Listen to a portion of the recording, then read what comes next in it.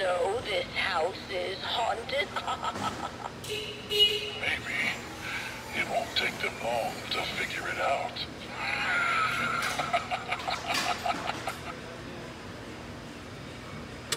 it's been so long.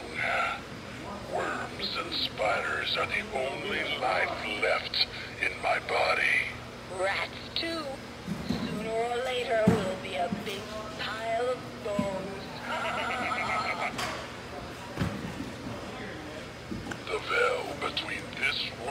And the next is thinnest on Halloween night.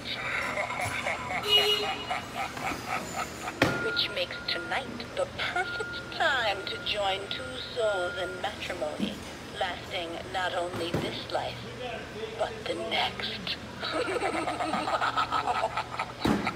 a cold night with a full moon is perfect for what I have planned. Oh, Hopefully something sinister and sweet for me. Just wait